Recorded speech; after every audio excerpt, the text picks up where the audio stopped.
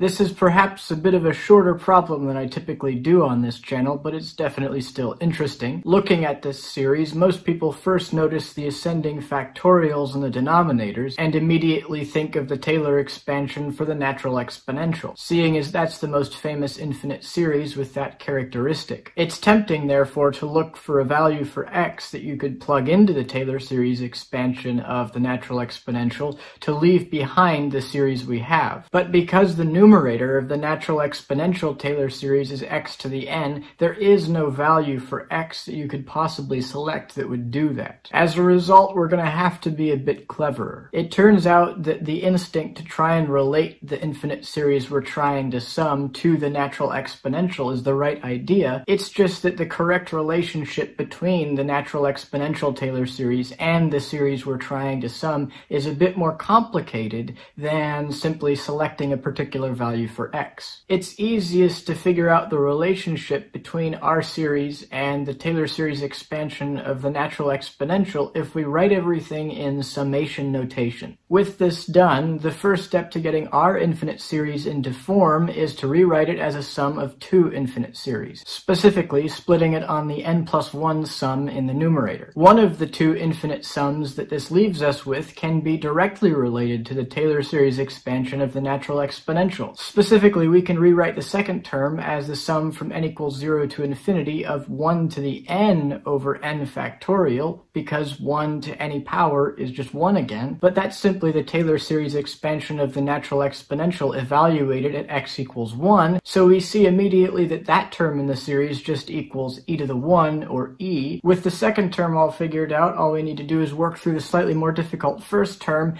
and then our job will be done. The trick with the first term is to realize that you can cancel the factor of n in the numerator with the factor of n in the denominator from the factorial.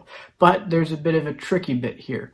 It doesn't reproduce the series that we started with unless you also raise the lower limit of the sum from 0 to 1. That subtlety is the detail missed most commonly by students. From here we can use a similar trick to what we did with the second term. We can rewrite the 1 in the numerator as 1 to the n minus 1, again because 1 raised to anything is just 1, and then from there we can decrement the lower limit of the sum without changing the value of the sum, assuming we also add 1 to the integer that we're summing over. With that final change done, the sum we're left with again is simply the Taylor expansion of the natural exponential evaluated at x equals 1. Therefore, the first term also just equals e to the 1, or e, and the overall series just equals 2e. I personally find this result quite interesting, and the reason why is this. If you took the original sum we started with and replaced all the integers in the numerators with 1, you would simply get a series that straightforwardly equals e. But if instead of 1s you have those ascending positive integers that characterize the series we just completed,